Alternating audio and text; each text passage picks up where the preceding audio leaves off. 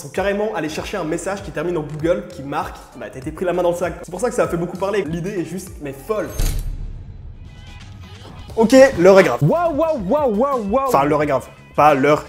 J'avais prévu totalement une autre vidéo pour aujourd'hui, un petit truc autour du hack. Ah, je veux pas, je veux pas spoiler, j'aime pas spoiler comme ça, vous allez voir, sauf que, alors déjà première chose, j'ai pas réussi à avoir des résultats satisfaisants, donc je repousse un peu ça. Et il y a eu autre chose dans l'actualité cette semaine. Je sais pas si vous avez suivi ça, mais Google a été pris la main dans le sac. Ok Google, t'as été pris la main dans le sac. Aïe aïe aïe. Ok Google, annulé. J'abuse beaucoup trop de cette vanne qui est déjà démodée depuis 3 ans. Voilà. Je vais vous expliquer tout ce qui s'est passé, on va même tester ça, vous allez comprendre. Ok, la situation c'est la suivante. Je sais pas si vous avez déjà tapé dans Google pour chercher des paroles. Par exemple, si je tape ça, comme ça, Google va me sortir directement les paroles de la chanson intégrées dans la page web. C'est jamais si vous avez envie de comprendre les paroles ou si vous avez envie de faire un super karaoké, on ne juge pas ici, ça vous donne ça. Le souci avec ce genre de fonctionnalité dans Google, bah, c'est qu'en allant chercher les paroles là, vous allez plus sur les sites qui donnaient les paroles. Ça marche un peu pour toutes les fonctions que Google propose, que ce soit chercher des couleurs en particulier pour ceux qui font du développement, euh, faire du calcul, afficher des graphiques, enfin voilà. Donc l'un des sites qui lui proposait les paroles avant Google fasse ça, qui s'appelle Genius, faisait un peu la tête. Mais bon, ça jusque là il y peut rien. Sauf que Genius un jour s'est dit quand même, les paroles qui sont Google ressemblent vachement aux miennes, quoi. Je veux bien que chacun écrive à peu près ses paroles et que ça soit forcément les mêmes paroles derrière, donc le texte est censé être à peu près le même, mais là, quand même, c'est exact jusqu'à la virgule près, quoi. C'est exactement comme sur notre site dans Google. Ils ont signalé plein de fois, ça fait quand même des années que ça dure, et il y a eu juste aucune réaction de la part de Google. Mais un jour, ça continue d'arriver, et ça a été franchement la goutte d'eau qui met le feu aux poudres.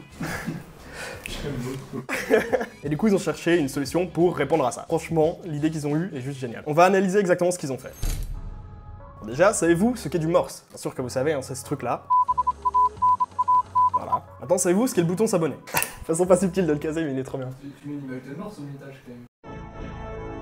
Non, bon, sérieux, euh, le morse, c'est quand même quelque chose qui est utilisé depuis très longtemps quand on voulait envoyer des messages à distance. C'est apparu à peu près dans les années 1830. Et ça a été inventé par monsieur Samuel Morse. C'est l'anecdote qui sert à rien, mais c'est calme. Bref, j'ai retrouvé l'une des musiques que Genius accusait Google d'avoir copiées. Pardon, mais là, vous me posez une colle.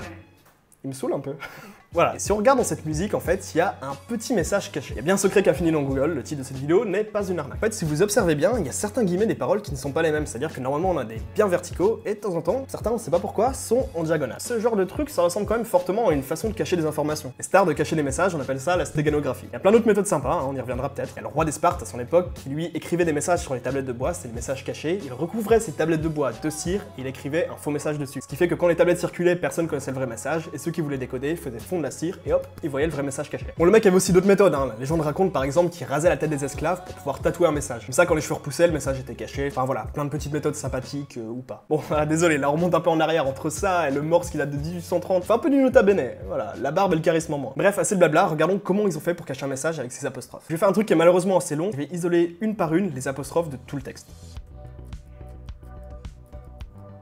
Ok, bon maintenant on va convertir ces guillemets en points ou en tirets, c'est-à-dire en morse, en signal long ou signal court. Pour être honnête, j'ai une chance sur deux, je sais pas quel caractère correspond à quoi, donc on va essayer, et si ça marche pas, bah, on recommencera. Et donc voilà, après conversion, ça nous donne ceci. Alors là, vous allez me dire, ça donne pas grand chose, et malheureusement, moi non plus, je parle pas morse. Heureusement, il existe des petits sites comme ça qui nous permettent de taper notre texte et de le décoder directement. Dernière chose qui reste à faire, c'est à séparer les signaux correctement. Normalement, on fait des mots et on laisse des pauses entre les mots. Donc voilà, là on sait pas où sont les espaces précisément, je vais le faire un peu en tâtonnant, et normalement, ça devrait le faire. Du coup, vous voyez ce qu'on obtient comme solution sur le côté. Quand on décode ce qui était caché dans le texte à la base, on obtient red-handed. Littéralement, pris la main dans le sac, voilà, pour les gens qui ont un peu trop séché l'anglais. Alors déjà, voilà, ça c'est cool, c'est que le début, hein, mais cacher un texte à partir de guillemets dans un autre texte, je trouve ça génial. Mais le must, si vous vous souvenez quand même, c'est que Genius cherchait à prouver que Google avait pompé ses paroles. Donc logiquement, si Google a copié ses paroles bêtement, on devrait retrouver ça dans Google.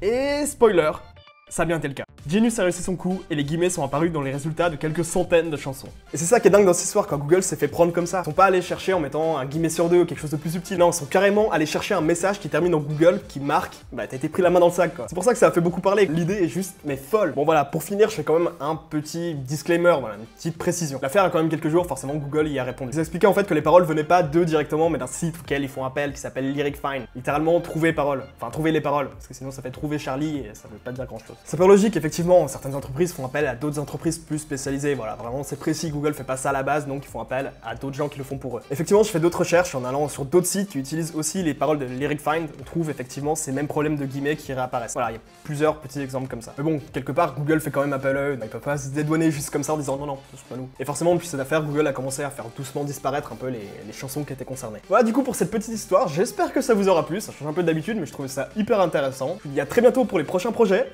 Ciao